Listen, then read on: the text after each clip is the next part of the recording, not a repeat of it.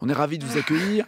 Ce n'est pas le cas de tout le monde ici. Voici Morgane Gavignon et elle ne vous aime pas. Jalouse, va. Non, mais Alexis Michalik, je, suis- je suis tout de même contente de vous voir. Merci beaucoup Tout déjà euh, d'avoir. Non, mais merci d'avoir arrêté d'écrire pendant 1h30 pour assister à l'émission. Ceci dit, les fauteuils ont des roulettes, donc je sais que vous êtes en train d'imaginer une mise en scène, une scénographie qui vous ressemble un peu dans laquelle Daniel Morin roule derrière le mur et Ouais. Tom Villa apparaît, qui en fait, on le comprend, est Daniel Morin jeune, prêt et motivé pour son Merde. premier jour à l'ORTF.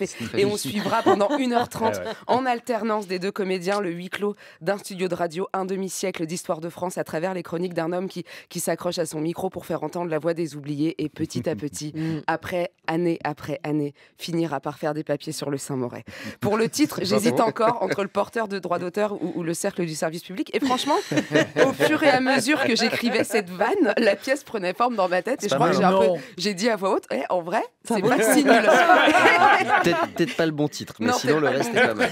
Et si j'ai pensé à ça, Alexis, c'est- c'est parce qu'elle a sorti toutes vos pièces. J'ai dit à voix haute, ah mais le Inception du théâtre, quoi. Et à chaque fois, on m'a répondu, oh ta gueule. Mais c'est vrai, dans, dans vos mises en scène quasi cinématographiques, tellement c'est fluide, il y a quelque chose qui fait qu'on peut pas faire autrement de se, que se laisser porter. Et dès qu'il y a quelque chose qui se goupille bien dans ma vie, je me dis un peu, tiens, c'est à la Michalik. Quand les choses sont fluides et, et s'enchaînent bien dans mon quotidien. Du coup, j'ai utilisé l'expression une fois.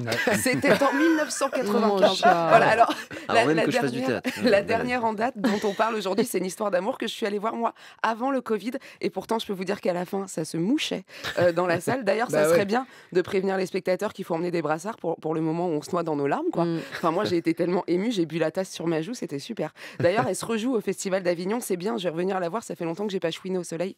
La dernière fois, c'est quand j'ai vu une vidéo de moi qui surfe.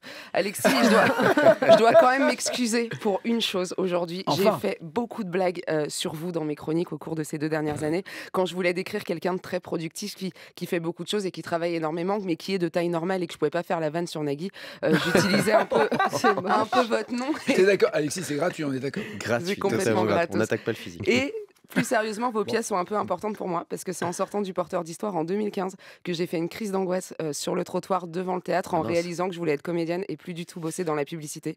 Et voilà, il aura fallu 7 ans pour réaliser que j'ai ni le talent ni la patience et que du coup le stand-up, mais c'est super. Non mais vous, elle est super cette histoire. Vous, vous disiez au début que vous transformiez votre, votre malaise en quelque chose de beau. Bah, moi, je transforme mon malaise en, en encore plus de malaise.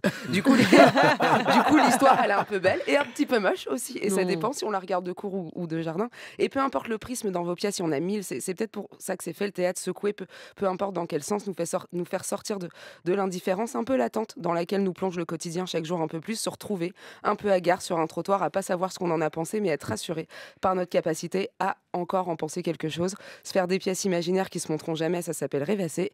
Rêver assez pour y travailler, ça s'appelle Alexis Méchalik. Et ça rend le théâtre accessible aux gens qui sont pas nés dedans. Et merci. Bravo, quelle déclaration ouais, C'est vrai que le, le- Petit chat, petit Une fois dans l'année. Ah et c'est vrai oui. que le malaise euh, crée les meilleurs punchlines. Oui. quoi. Et ouais, plus il nous arrive des trucs euh, pas, euh, pas terribles dans la vie, plus c'est drôle sur scène en fait.